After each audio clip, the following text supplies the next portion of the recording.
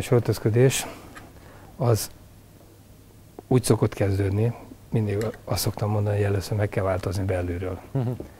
Nagyon fontos, mert, eh, mert a legtöbb ember az öltözködést valamilyen szinten kényszerűségből gondolja, hogyha hideg van, akkor melegebben öltözünk, ha meleg van, akkor kicsit leveszünk magunkról.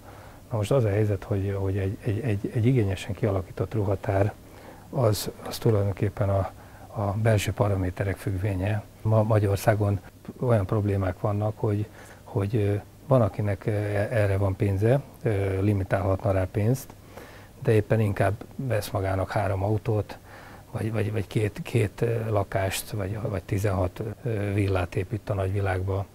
De a ruhatára az olyan, mintha a vályogviskóba laknak. A gardopunkban kell, hogy legyen egy világos öltöny, ez lehet egyszínű, egy fehér, mint ami rajtam van. Én most gyakorlatilag kettő, kettő zakót készítettem ide be, kettő, azt mondja, hogy kettő, három, négy öltönyt.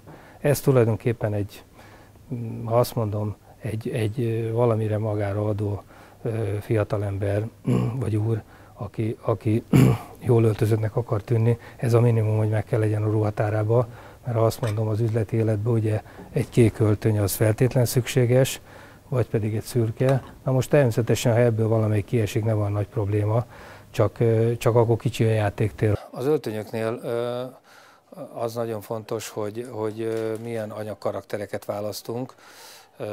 Vannak négy évszakos anyagok, ami, amit a, a, az év minden négy évszakában kényelmesen viselhetünk, ezek általában gyapjú szövetekből vannak. Ezek különböző gramra is meg vannak határozva. Nyáron általában a, a, a vékonyabb, a könnyebb gramú öltönyöket érdemes vásárolni, és a lenöltönyöket. A lenbe az a jó, hogy, hogy a len az gyűrődik. Sokan azért félnek tőle, mert mert gyűrődik, viszont szellőzik. A len tulajdonképpen a, a, a legjobb viselet a, a, a nagy melegben. És én azt szoktam mondani, hogy én 20 éve, 20-30 éve hordok lent, és egy, egy olasz úr megdicsérte az öltönyömet 20 évvel ezelőtt, hogy, hogy nagyon szép az öltönyöm, de egy nagy hibája van, hogy nem elég gyűrött. Mm. Na most a magyar ember attól fél, hogy gyűrődik hogy az gyűrődik. Hát, hát ez a lényege, hogy a természetes alapanyagok a, a le, nem probléma. Abszolút nem probléma, az bátran fel kell vállalni. Természetesen az üzleti életben, az, az üzleti életben ö, sokkal elfogadhatóbb egy vékony gyapjú, egy, egy ö, szuper, hagyományos. hagyományos vékony gyapjú öltöny. Na most ö, egy, egy, egy, ö, egy kék öltöny, egy szürke öltöny. Ezt a lent, ezt tényleg azt mondhatom, hogy akár az ember az üzleti életben is, természetesen más színekben is lehet, ez sötét színben is lehet hordani, de különböző kerti partikra, különböző estélyekre. Ma Magyarországon ez még egy e, e, elég kényes kérdés, de azt tudom mondani, hogy egyre jobban többen felvállalják most már a len öltönynek a viseletét, és ez, ez, ez, ez nagyon jó dolog, mert, mert a len az, az, az a legkellemesebb anyag véd a, a, a, a naptól, és, és nagyon jól szellőzik. Nagyon ritka szövésű, ha ezt most így átvilágítanánk, szinte majdnem átlátszik egy lenöltöny. A, a, a gyapjú az egy csűrű szövés. De független attól vannak nyári gyapjuk, most mind olyan öltönyt készítettem itt össze, ami, ami kimondottan vékony anyagokban, például, hogyha ezt a ezt a vékony gyapjú öltönyt leakasztom, ez teljes, ez béle, félig van csak bebélelve, nem tudom, jól látszik-e, fél, félig van bebélelve, teljesen könnyed, úgyhogy ezt is, amikor a nagy kánikulákban az ember jól öltözötten akar tűnni, akkor, akkor ilyen, ilyen zakokat kell hordani, ami, ami félig van bebélelve, vagy lent. Az üzleti életben egy, egy, egy, egy klubzakó fém gombokkal, akkor, akkor szürke nadrág hozzá, ehhez fel lehet venni egy nagyon szép kék farmert is. Franciák, olaszok ezt bátran viselik, én magam is szeretem ezt tulajdonképpen az akkó farmer viseletet, nyakkendővel is akár.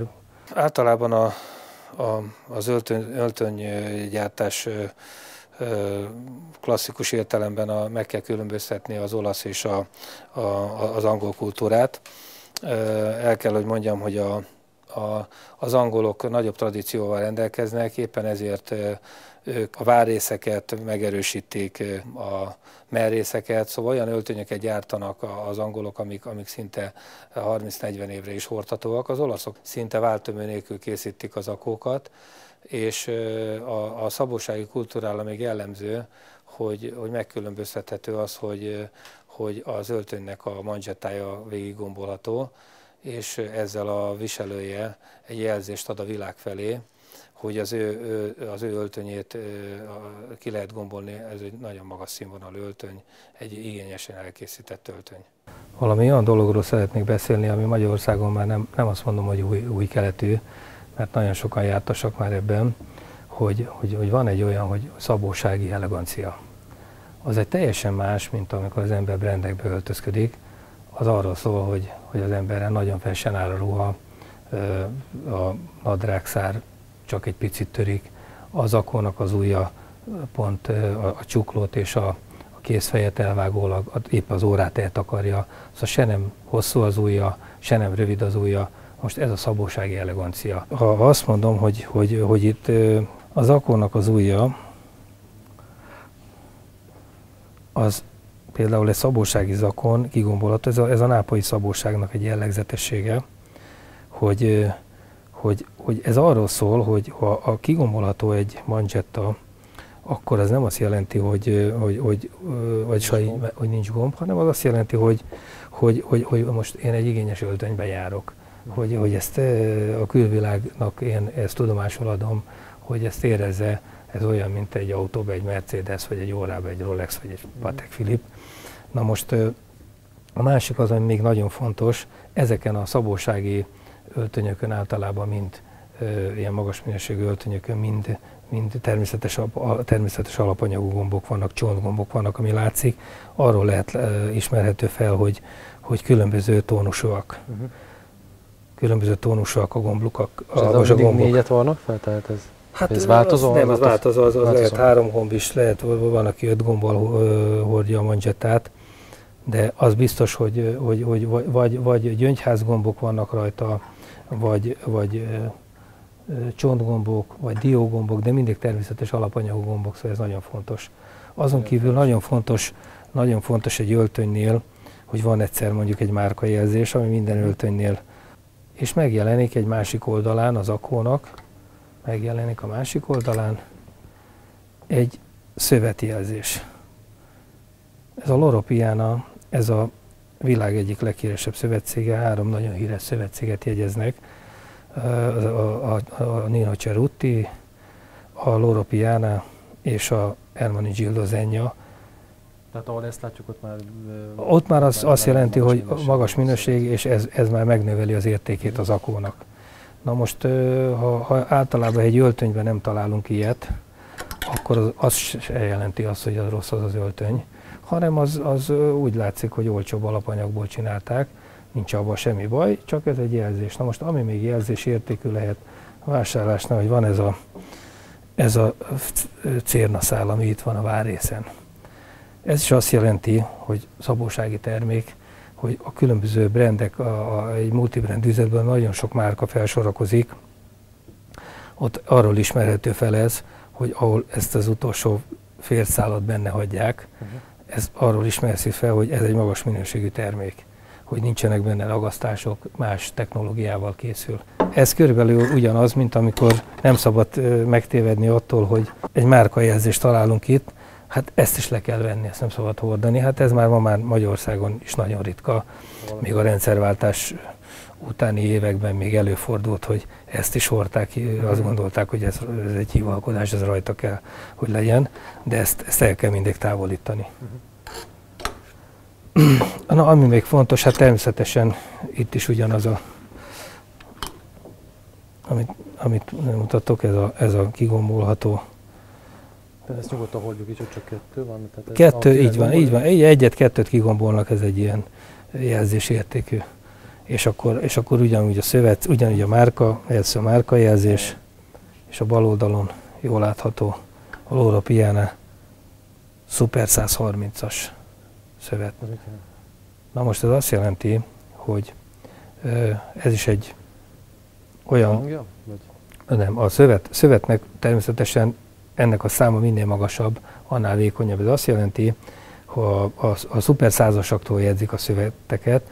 Most azt hiszem a technológia szuper 180-asig ért a mai, mai ö, időnek megfelelően.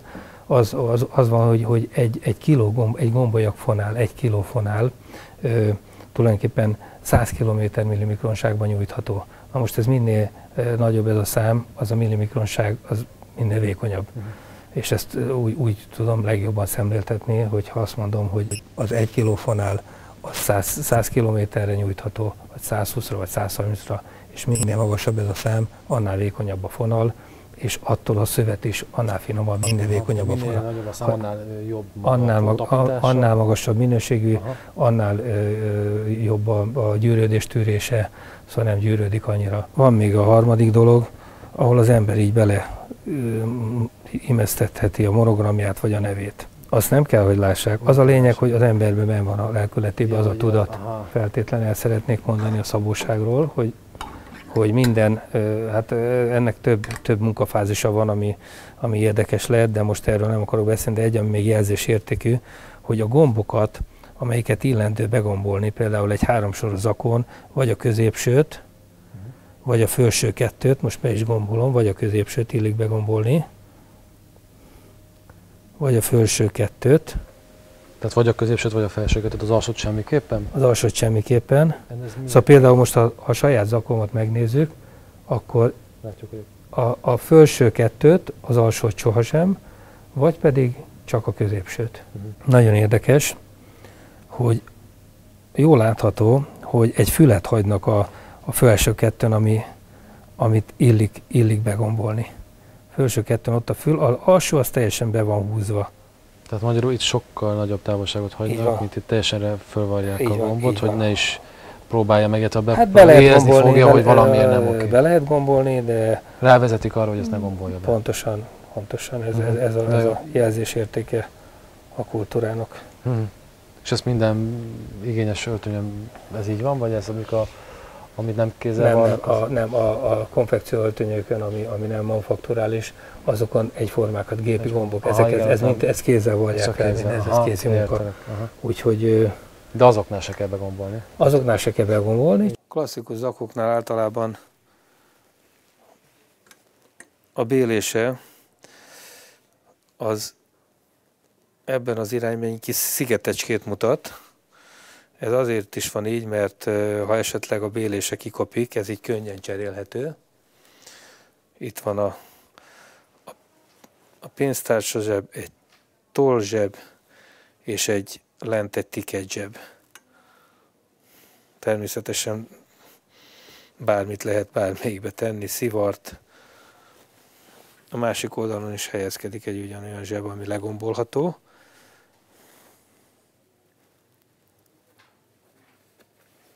A két hasíték, ami kényelmeset teszek viselőjének. Hát ez, ez egy szivarzseg, amit általában díszsebkendőt használunk. Zakónak az új hossza, ez a hossza, amit most szeretnék magammal megmutatni. El kell, hogy takarja az órámat. Az, az mondjuk egy mért, mértékadó. Uh-huh.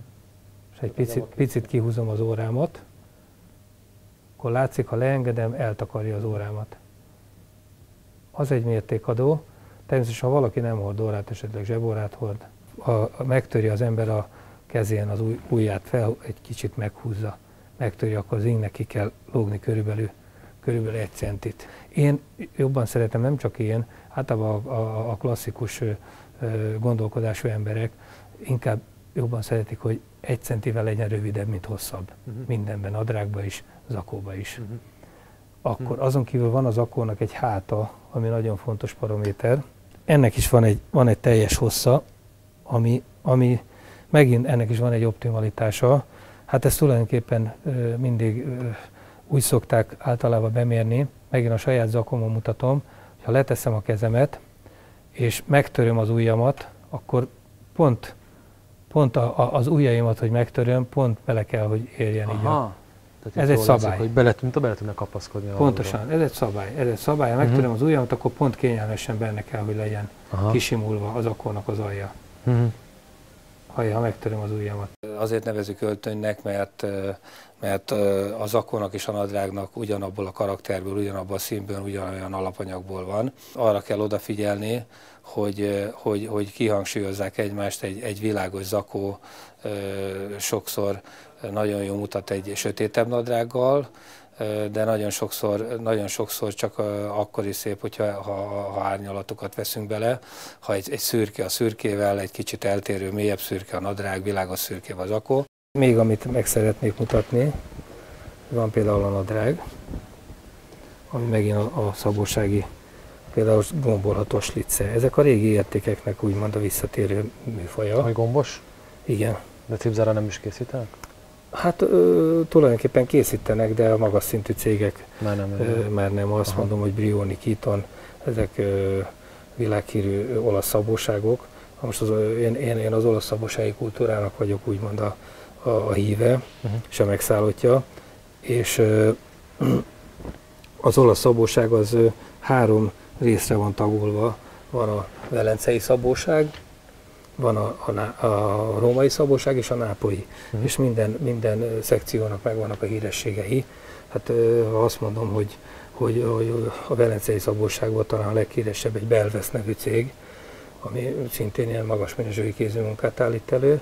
A, a római szabóságban ott a, a, a, a Brioni, Davenza, ezek, ezek nagyon híresek, valószínűleg sokan nem is hallottak róla.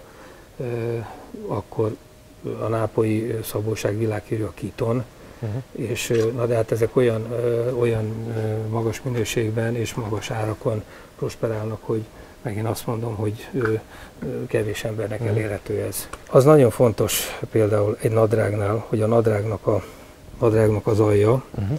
ami természetesen lehet hajtókás és hajtóka nélkül is, az mindig a megfelelő klasszikus divatrendnek. De ez az, ami mindig változik. Uh-huh. Most per pillanat különben a hajtóka nélküli a divat, de a hajtókás az örök. Uh-huh. És a, az nagyon fontos, hogy a, a nadrág hátsó részén a cipő felső rész és a sarok elvágásáig érjen. Uh-huh. Ez nagyon, eddig érjen a Tehát nadrágnak a, takarja a cipőnek a sarok részét, viszont még a sárba nem érjen bele magyarul. a cipő felső részt Felső akarja el, igen, igen, de igen. a sarok részt szig elvágólag. Igen. Ez egy optimális. Ha, ha egy úri, uh, úriember, amikor ezt beméri neki valaki, és ha lelép a földre mezitláb vagy zokniban, akkor a nadrág pontosan a földig fog érni. Uh-huh. milliméterre pontosan. Az egy elfogadott ö, szabály a, a klasszikus férfi divatban, a konzervatív klasszikus férfi divatban hozzáteszem, Uh-huh. de természetesen vannak különböző eltérések ebben, saját Ízlésvilág. ízlésvilágból kifolyólag. Van, aki nagyon röviden szereti, angolok például nagyon röviden szeretik hordani a nadrág, nadrágot. Csak ez akkor, ha leül az ember, akkor gyakorlatilag vádli közepéig feljön. Hát igen, de ott meg természetesen hosszú, zokni, hosszú sötét zokni, amire majd visszatérünk egy más résznél. Ezt így próbáltam utána menni, hogy Angliában miért, miért ilyen rövidek a nadrágszárak. Állítólag a, a századok során kialakult esőzések miatt egyszerűbb, hogyha, hogyha az oknit mossák ki, meg a cipőt pucolják Mhm. meg, mint a nadrág, az, az egy Mhm. értékesebb. Úgyhogy ez a magyarázat rá. Az öltönyöknél még nagyon fontos az, hogy, hogy, hogy ügyeljünk a karbatartásokra. Természetesen a legmegfelelőbb karbatartás az, amikor a, a használt ö, ö, viseltes piszkos öltönyünket tisztítóba adjuk, de vannak még más, más praktikái is az öltönytárolásnak, például a, hogy, hogy ne tároljunk semmiképpen tisztítós, ilyen, ilyen, ilyen fém, vékony válfán öltönyzakót, mert az összetöri a, a várrészeket, a reverrészeket. Mindenképpen egy ilyen testesebb válfán tároljunk ö, öltönyt. Nagyon fontos egy öltönynél, hogy vasalt legyen a nadrág, annak azt nem kell állandóan tisztítóba adni, utána lehet vasaltatni, vagy vasalni. Füstös helyen, vagy, vagy olyan helyen vagyunk étteremben, ahol esetleg valami zsírszagot vesz be a gyapjú vagy a len, akkor azt ki tudjuk tenni egy szellősebb helyre, az erkére vagy udvarra, egy, egy, egy, egy ruhafogasra, és az, az pár órán belül kiszellőzik.